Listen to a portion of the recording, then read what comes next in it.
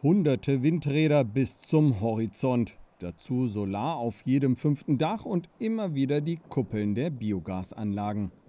Im Rhein-Hunsrück-Kreis ist die Energiewende weithin sichtbar. Seit Jahren schon wird hier tief im Westen der Republik in Summe mehr Strom produziert als verbraucht. Einen großen Anteil daran hat Frank Michael Uhle. Er ist der Klimaschutzmanager der Kreisverwaltung.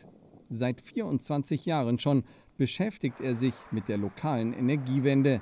Bei ihm laufen viele Fäden zusammen.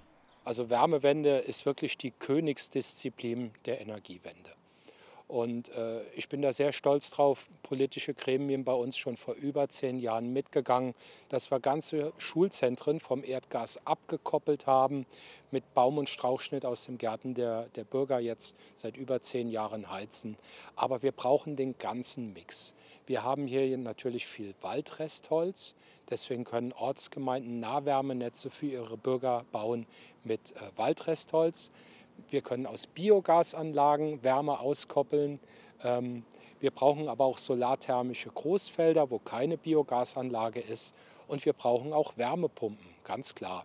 Und äh, alles das zusammen, das muss die Symphonie werden, um Öl und Gas zu ersetzen. Mittlerweile liefern die Erneuerbaren mehr als dreimal so viel Elektrizität, wie für die 100.000 Einwohner nötig sind. Deutschlands Energiekommune des Jahrzehnts so lautet eine der zahlreichen Auszeichnungen. Hier ist man Energieexporteur.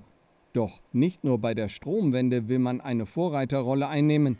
Der Landkreis hat schon längst die Weichen gestellt, um auch unabhängig von Öl und Gas zu werden und musste bei diesem Thema nicht erst durch Putins Angriffskrieg aufgeweckt werden.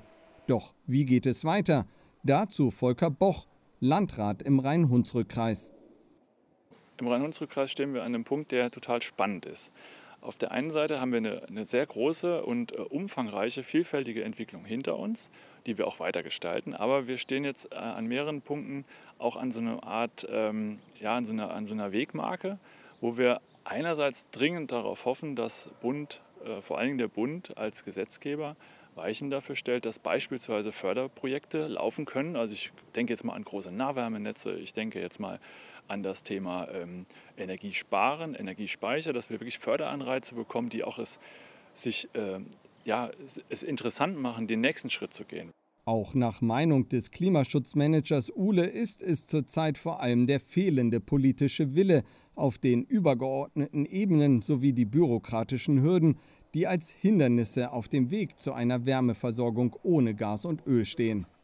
So liege beispielsweise ein dringend benötigtes Förderungsinstrument für den weiteren Ausbau von Wärmenetzen schon seit Monaten bei der EU in Brüssel auf Eis.